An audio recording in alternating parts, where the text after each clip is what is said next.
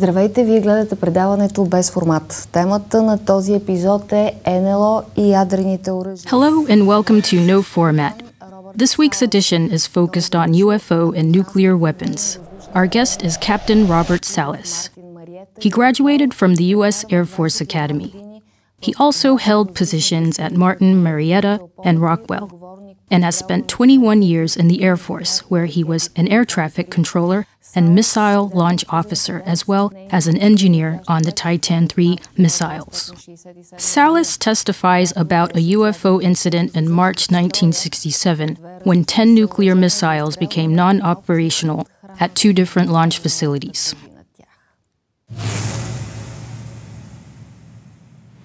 What happened in Malmstrom Air Base in 1967? At that time, you were missile launch officer for 10 nuclear warheads. Yes, I was there as uh, uh, on a combat crew. Uh, we had control of 10 nuclear missiles, and uh, sometime in the evening, uh, I was in command, and I received a phone call from my guards upstairs because we were underground. Uh, and he said that uh, they were seeing strange lights in the sky, flying very fast and stopping and reversing course and making maneuvers that they didn't think aircraft could make. So I was not, uh, didn't consider his comments seriously, I guess. Uh, and so I, I basically um, hung up the phone. Uh, and then he called back five minutes later, and this time he was very frightened, uh, very scared, uh, shouting into the phone, saying that he saw, he was, he had his guards uh, there, and they were seeing a, uh, a oval-shaped orange-red object hovering just above the gate of our facility. And he was frightened. He wanted me to tell him what to do. What should he do? And so I said something like, make sure nothing comes in, use force if necessary, but uh, uh, we had to protect uh, the weapons that we had. So he hung up the phone, and um, I went to tell my commander about this phone call. And as I was speaking to him, the missiles went into an inoperable condition, what we called no-go. They could not be launched, and uh, we lost all 10 of them while this object was still above us. Uh, he uh, reported this to the command post, and they told him the same thing had happened at another site, although it was a week earlier. Uh, but they also lost 10 missiles due to uh, this object. So I report on this. Um, um, and uh, later we were told um, never to speak about this. And we actually had to sign a document stating that we would never talk about this publicly. Um, uh, the only reason I was able to eventually talk about it is because of a book that I picked up many years later, uh, 1994, that talked about such an incident at Malmstrom in 1967. Uh, and um, that's when I started inquiring to the Air Force, the U.S. Air Force, about documents they had about the incident. Um, they didn't, I didn't say anything about a UFO, but they started sending me documents and declassified the incident. And that's when I was able to uh, publicly discuss it. Um, could you give us some more information about the patrol that saw the lights, how they described them, what they saw actually? They said it was very bright, uh, about um, 40 feet. I don't know how many meters that is, but 40 feet long. Uh, just silently sitting above the gate to our facility. So we're talking, uh, the gate was about, um, I'd say about 10 or 12 feet high. So this would have been no noise, no sound. Oh. and, and just like no object of some kind, some shape? It was hard to see a shape, but uh, the main guard told me later that it seemed uh, oval, oval shaped. The light was like oval shape. Yes, there, there seemed to be some structure there, although it was so bright he couldn't Oh, yeah. he couldn't see very well. Maybe. Yeah, he couldn't see very well. And this was seen by all the guards? Yes, How many were there? six Six guards. guards. Mhm. And did you get up there to No. see for yourself? No, because we were locked in. We had to protect our missiles, so we could not leave to go up upstairs. We were 60 feet underground. Um, yeah.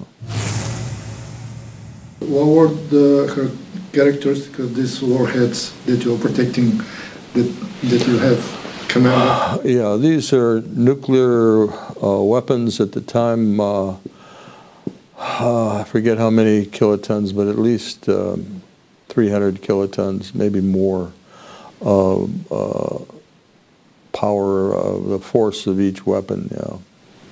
And uh, what kind of feeling did you experience then? Fear, amazement about this accident? I was shocked. I was shocked. Uh, I felt at first that it was uh, some sort of an attack. Uh, we were under an attack of some sort. That's what I felt. Uh, so we were very concerned. Uh, but then when we realized uh, what it was, we were just shocked. They, they did not, the UFO, although it uh, shut down the, the weapons so that they couldn't be used, they did not uh, destroy anything. They did not hurt the weapons themselves. We had a um, uh, inertial guidance system in the in the missile warhead, um, and all they did was upset that guidance system so that we would have to reorient the missile. So we had to send maintenance crews out to each of the missile sites to um, reorient the missiles on target. Yeah. And why do you have no doubt that this is an UFO and not some object from Earth or something, some kind of experiment or maybe? No, we uh, we asked first of all we asked our commander if this was some sort of exercise or uh, some demonstration of some sort. He said absolutely not. But uh, the object was able to do things that no airplane could do. It flew very fast across the sky, stop, dead stop, reverse course. And this is the story of the guards? Yes, story of the guards. Uh, and plus, uh, as far as we were concerned, uh, what it was able to do was send a specific signal through 60 feet of earth and concrete, Invisible. invisible signal, penetrate the cables we had, penetrate the cables and send uh, a specific signal to each missile to upset a particular piece of equipment. Uh, These cables were not connected to anything else? And they weren't, they were connected to individual missiles separately. I They, mean, uh, only the command post and the missiles, that's, the Yes. only connection. that's correct, that's correct. So, um, there was nothing that we knew that could cause this. Uh, and, and even the Air Force admitted at the time, they couldn't understand how this happened. The conclusion was that uh, it was external generated signal, like I described, from outside the system. It wasn't, it wasn't an error inside the system. Um, and that it was, uh, uh, I think, extremely unlikely that this should happen or could happen. They could not explain it. They've never been able to explain it. And um, after declassifying the documents about this case, you requested them, and what was written there? Did you read the reports about the accident? Yes, uh, um, yeah, I, what I just described came from a report Uh-huh. that we received when I asked the government to send us reports. Uh, I received many reports, and uh, I'll show the report. Uh, how uh, it stated that um, this is uh, impossible, and they could not explain it. And uh, why your story wasn't featured in the Blue Book project? Well, uh, Blue Book uh, had secret files in addition to publicly available files. It had secret files, and uh, it was probably in there. I don't know for sure.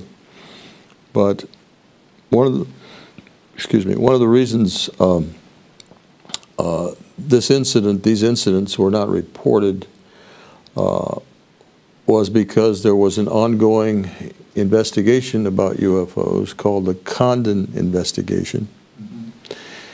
Uh, and that was happening at the same time as this incident occurred.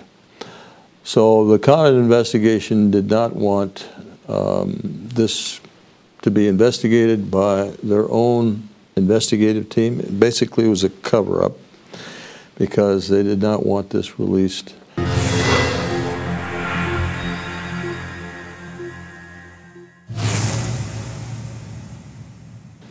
Why are they watching us, after all?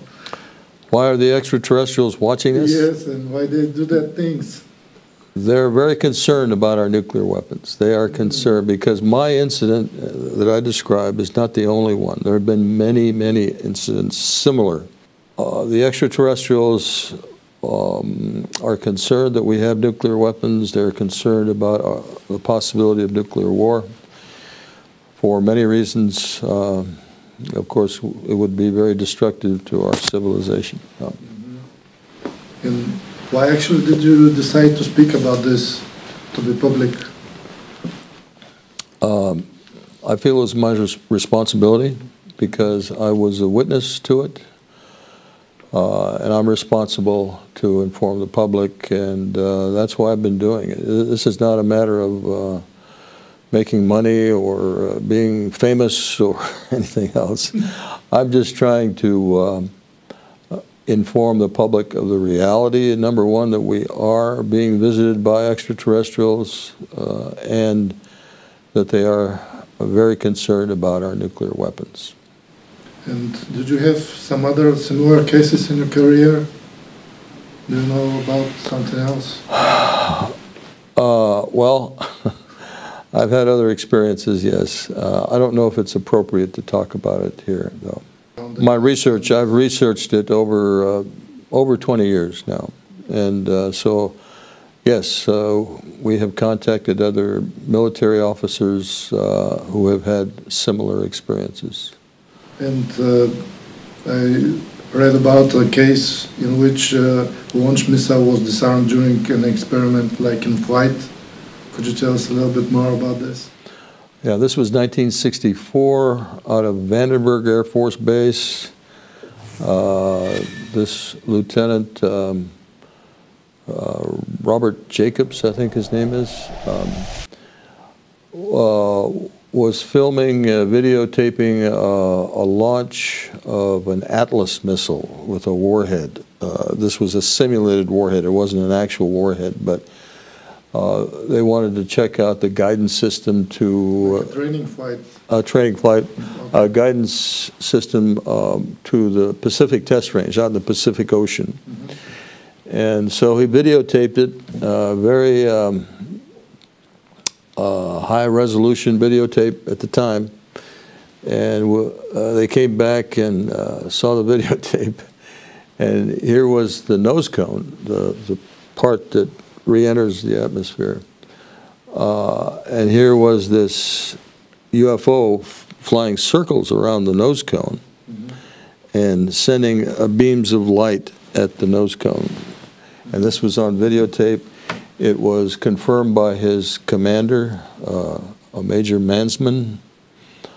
Um, and, uh, but the tape was confiscated later by the CIA. So. Nobody's seen it. Nobody in the public has seen this, but uh, Mr. Jacobs has, uh, uh, has come out publicly and discussed this, yes. And uh, wasn't included in the Blue Book uh, project or I don't think, else? I don't think it was included in Blue Book. Again, uh, Blue Book had um, claimed at first they had no secret files, but they actually did have many secret files, and this was one of them. Um,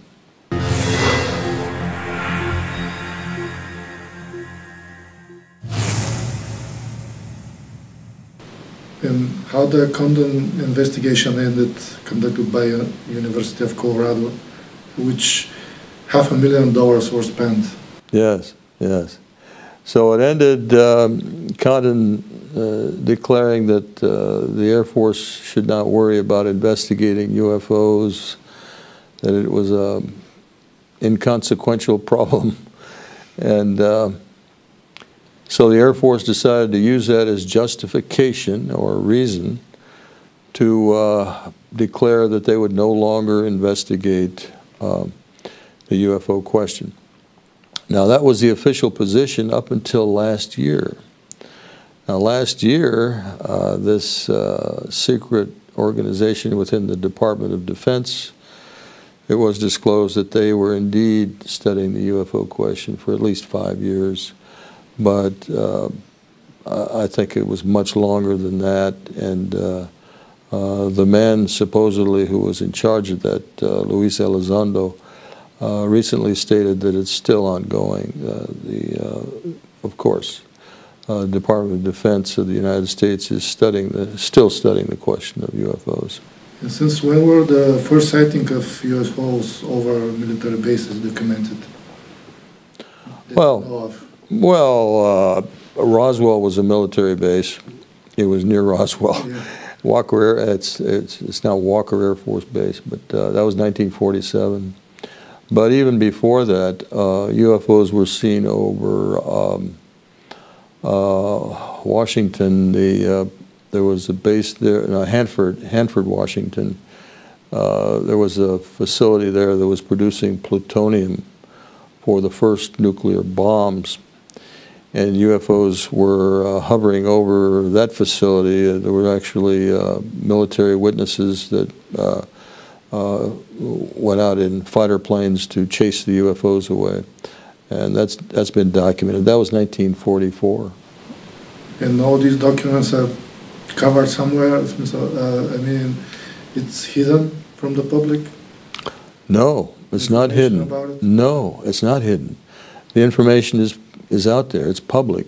And that's part of the issue. Uh, the the, the uh, public uh, needs to research. Uh, if, if, there are skeptics out there, there's uh, good places to research these these documents, in, these documents and incidents. Mm. And what about the government? They why they don't provide this information? Well, the government. I think initially the government did not disclose uh, for fear of how it would affect uh, society. Mm -hmm. Uh, and also because they had no control, no control over these objects. So they could not, um, they would feel uncomfortable stating that, yes, this is real, but we have no way of controlling them. We don't know how to uh, uh, protect ourselves or defend ourselves from these objects. Uh, but that was early on. Uh, I think now the reason that uh, the governments don't uh, release information is because they have accumulated secrets about how these objects operate and the technology, and they're using that technology probably for military applications, probably selling that technology to other countries. Uh, so there's this enterprise going on between countries of these secrets and so we're talking about greed and power as the main reason uh, these secrets are not told to the public. Think the U.S. government and the Russian government, for example, are in some kind of conspiracy about this? Yes, they cooperate. And, uh, and not only the U.S. and Russia, but um, countries all over the world, I think, are coordinating uh, information uh, in a secret organization I call the UFO cabal, uh, where uh, information is exchanged for uh, maybe a price, uh, maybe in exchange for other information. And so I think there's this kind of a, a, a secret cooperative agreements between governments. Or maybe they're preparing for some future uh, encounter with the aliens. Yes, well, of course, uh, if, if the military is involved, they're all, always thinking of uh, aliens as the enemy because they they have better equipment, advanced, better advanced equipment technology. So uh, they're the enemy, obviously. Uh, but uh, I don't. I don't think they are the enemy. I don't think there's an intent to invade the Earth uh, by force. Um, actually, I think they're here to uh, to help us evolve into uh, better conditions human conditions. Yeah. How do you think who will make the decision to tell the public? I mean, the military or the government, because uh, they should cooperate about this topic, about aliens and some future encounter they're preparing. Because if it happens, everybody should know, right? Everybody should know. I think the public has a right to know because we're, it's, it's it affects everybody. It'll affect all of us. So we, we uh, definitely have a right. And that's why uh, some of us have been working so hard to uh, disclose and talk about this. Uh, I, I, encourage everybody to uh, get involved in this subject. Uh, there, there's information that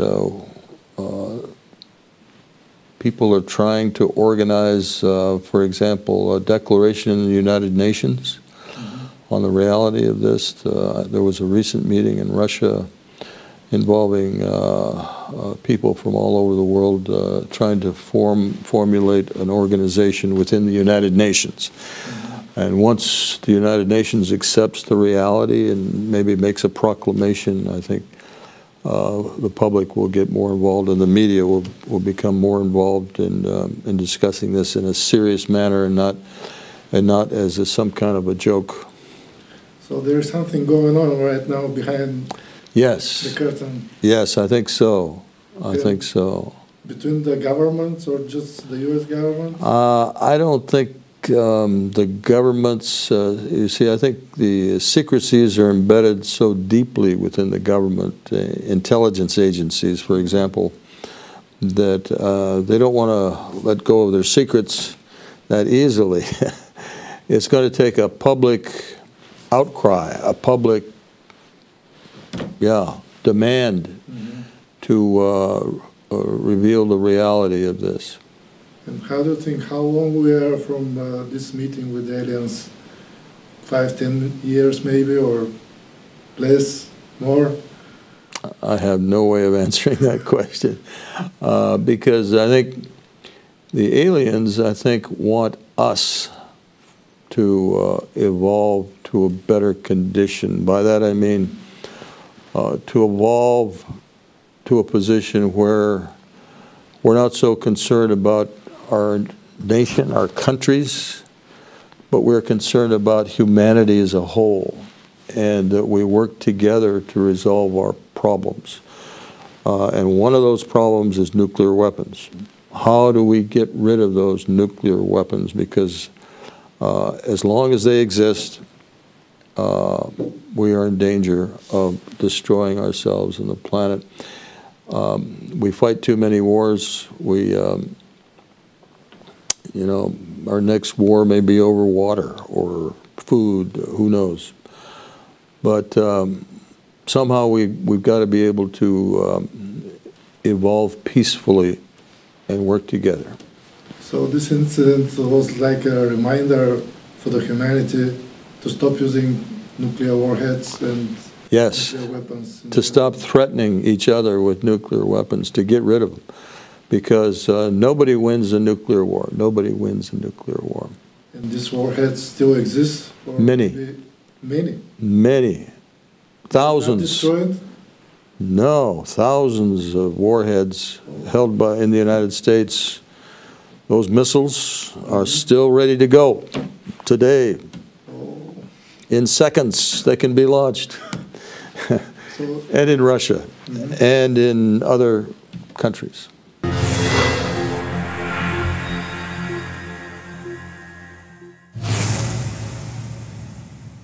What kind of technologies do you think they possess to move so fast and transfer from one place to the other? Well, there are different theories um, because uh, they go so fast that the uh, we can't understand how they they can be in the craft and accelerate uh, over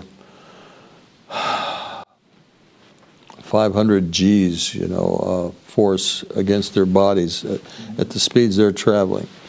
Um, and the inertial forces. Uh, how, how are they able to travel so fast, stop, reverse course? Uh, some people have talked about them disappearing in front of their eyes, uh, you know, just disappearing. Uh, so they can do many things that uh, we don't understand yet. There are theories on how this could work. Excuse me. Um, but it's all speculation at this point. and why do you think the UFO still didn't make official contact with us yet? Well, um, I think uh, they want to see us evolve to um, so that when we are, evolve in the method in the way I described about working together, and um, they want to see us come to the point where uh, they feel safe making contact with us, and then we can join the uh, cosmic community of uh, other um intelligences in the cosmos. Uh, but I don't think we've earned that right yet. We have not earned the right to join them uh, because of our behavior. Uh, and so I think they want to help us. Uh, I think they're here to help us. And I hope uh, we can uh, we can achieve that and make progress. And uh, you're saying that there is a lot of misinformation. How we could distinguish information from disinformation about these topics? Because there is a lot of people that talk about this, but maybe they're just misinforming people. Yes, uh, like I said, I think there's an international cabal, and part of their uh, program is to spread disinformation or confusion about the subject. Uh, there are too many people out there that are speaking uh, about this by speculating, uh, throwing out ideas, uh, which just confuses things. We need to hear from witnesses like myself and others uh, who have had experiences and, and draw conclusions based on facts and not speculation. Uh, that uh, doesn't help us win the hearts and minds with the public on the reality of this subject. If you have experience of a close encounter with the, of the fourth kind again, and you have the opportunity to communicate with aliens, what did you ask them? What is their agenda? What is their program for us? What what do they expect in uh, in the future, and how soon uh, can we accomplish the point where we will have open contact? That's what I would ask. And where they come from, or how? Well, the technology, um, yes, of course, I'd be curious about that also, but but that would be later if they would share some of uh, the technology with us. Because we, we do have an issue with um, using fossil fuels, and we need better ways of using our energy resources. Uh, uh, that would be helpful. Do you think that they could give us some tech new technology for humanity that we could use to uh, get rid of this whole energy crisis that we have right now with the fossil fuel? Um, Yeah, absolutely. They, they don't use uh, the same kind of propulsion systems that we used. Uh, You know, what- you never see uh, a trail of uh, exhaust smoke. Yeah. Uh, You know, I do have pictures showing uh, a black ring when they leave very fast. I've got photographs, I can, sh- I show those. That's on the ground. No, that's in the air. Uh, You can actually see, uh, I've got two photographs, uh, uh, actual photographs of uh, a black ring, but I think that was left behind by the uh, craft as it left at high speed. I think that black ring uh, was something that was attracted to their surface by our atmosphere. So it was probably uh, some sort of carbon uh, residue in, in the air that they left behind. We are looking forward to this uh, meeting with aliens then in the near future, maybe. Well, uh, I'm hopeful. Uh, I think that there's more and more information that will be coming soon. Uh, uh, very dramatic information.